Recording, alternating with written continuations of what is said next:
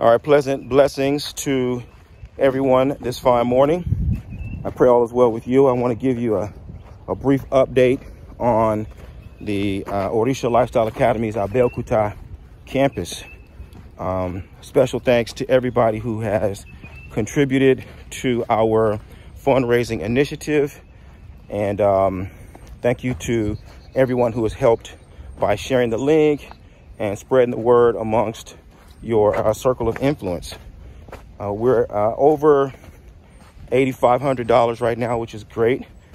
And it's, it's going to help us execute on our beautiful opportunity to uh, build the campus there in Abeokuta.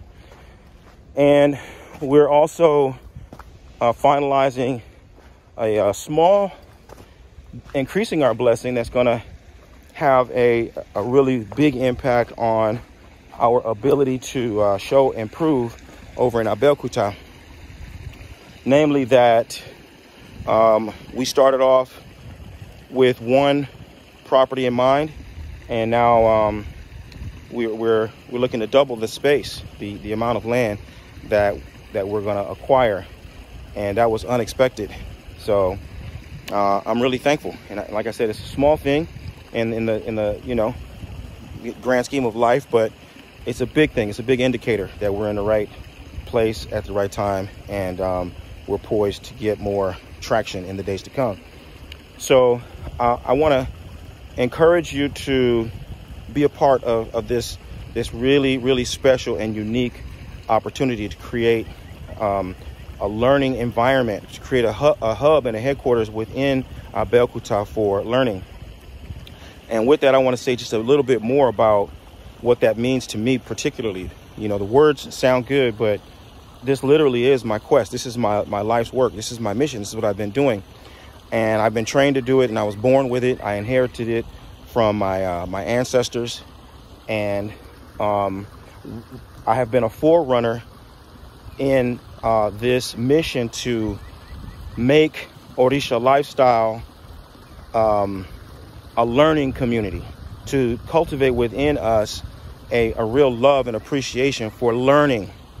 And what I mean by that is um, when I came into the tradition, people were reluctant, if not hostile, towards um, open teaching. Um, uh, open, like uh, in the in the computer world, they call it open source. And um, I think being exposed to the computer industry uh, when when when the dot com and, and all the other, you know, smart technology that we're working right with right now, it was just coming into being. And open source was a big, big deal. So I was building a website back in 98, 97, right? Building a website. Uh, not because I was so adept at computer technology, but because I was in the Bay Area and I worked in the computer industry and open source was just how they how they did it. So you could go to a, a, a different websites and data banks, and you could you could get free information. It was kind of an honor system. You could you could you could uh, make a donation and stuff like that, but it was free. And so I got access to the technology and started messing around. And you know, I, am fairly adept with a computer. I'm comfortable with it. I, I'm not a programmer by any stretch, but I'm comfortable with it because I got you know exposure early. But um, when I came into the Orisha community, I was I was when I should when I, when I when the internet kicked off and I started to communicate with Orisha devotees around the world, I was struck by people's hostility towards sharing information. The way in which people would really panic when they got new information. The way that people who were steeped in knowledge and, and had years and years of experience were really intolerant and quite incapable of assimilating new information. They just, they would panic. And uh, as a learner, that's the last thing you want. That's, the, that's, that's totally antithetical to learning. When I have a question, when I want to share information, when I want to um, uh, um, benefit from, from basic things that, that you know as an experienced practitioner, it's a total turnoff for people to attack you. And so um, that's what I mean by creating a learning environment. So I've been I've been at the forefront. I've been I've been leading the charge for years and years now. And so that's why when you look at my my YouTube channel, when you look at my blog, when you go to my Facebook page, you can go back years and years and years and years and years and find lots of high quality information because I want to share. I don't share secrets. I don't divulge things that the layperson can't know, understand, or make sense of. I don't do that. I'm not just putting things out there for shock value and to try to say, oh, look, I know something.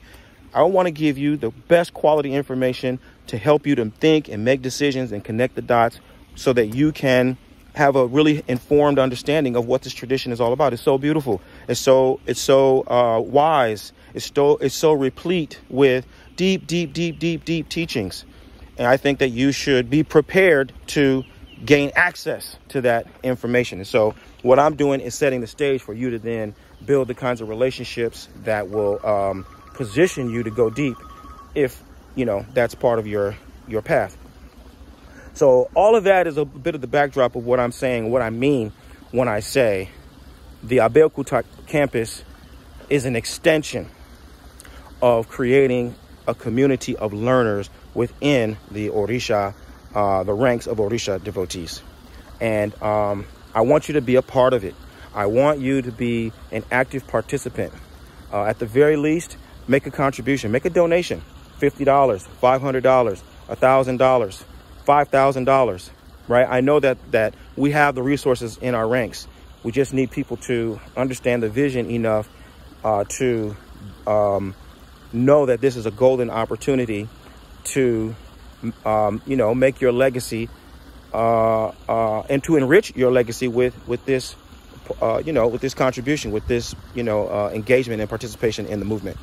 So uh, visit me at obafemio.com and, um, you know, follow the links.